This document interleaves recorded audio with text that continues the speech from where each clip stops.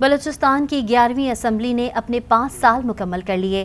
ایوان کی کاروائی کے چار سو چوہتر دنوں میں چھیانوے قانون سازیاں، اکسٹھ سرکاری ایک سو پینتیس غیر سرکاری قراردادیں پاس کی گئیں۔ محمد خالد کی رپورٹ دیکھیے۔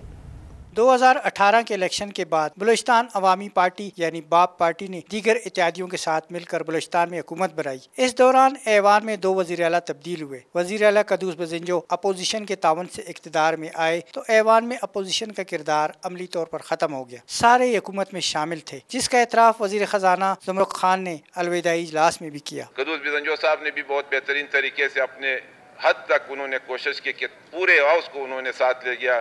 جام صاحب کے وقت میں تو ایک اپوزیشن ہوتی تھی۔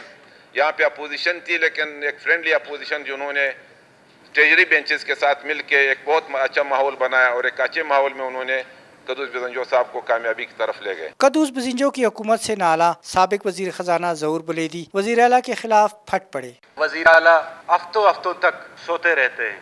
عوامی معاملات مسائل سے کوئی غرض نہیں۔ ایوان میں پانچ سال کے دوران سرکاری محکموں سے متعلق پوچھے گئے، پانچ سو اکیس سوالات نمٹائے گئے۔ ستاسی توجہ دلاؤ نوٹس اور چھتیس تحریک التوا ایوان میں پیش ہوئی بلوچستان کی گیارہویں صوبائی اسمبلی کا پہلا سیشن تیرہ اگست دو ہزار اٹھارہ کو ہوا۔ اسمبلی میں گزشتہ پانچ سالوں کے دوران چار سو چورہتر دنوں میں چھیانوے بل اکسٹھ سرکاری، ایک سو پینتیس غیر سرکاری قراردادیں پاس کی گئیں۔ اب اسمبلی دنوں کی نہیں بلکہ گھنٹوں کی مہمان ہے۔ کیمرہ مین محب کے ساتھ محمد خالد، آج نیوز skończa.